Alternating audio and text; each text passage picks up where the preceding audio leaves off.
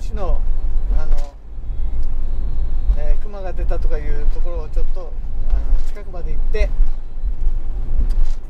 ー、近くといってもねまたあと4キロほど行かないとダメだろうか5キロか。4, 4キロか、えー、林道なので入っていくのは行きませんでした。そして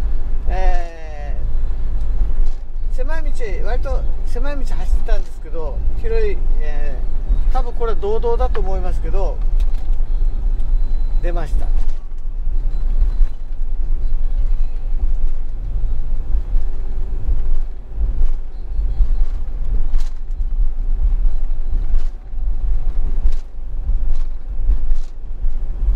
そして知恵分知恵分駅っていうのがあって、えーそこ行ってみようと思います。つまり国道沿いっていうよりも自分は今日鉄道沿いをや来たな手塩川沿い。そんな気します。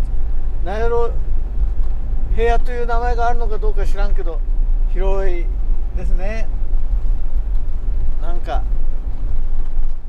して右にいや左にどこまでもからしなだと思います。まあ土地改良のために植えてるらしい。何の花とは違う。なんか何の花より黄色っぽいかなーって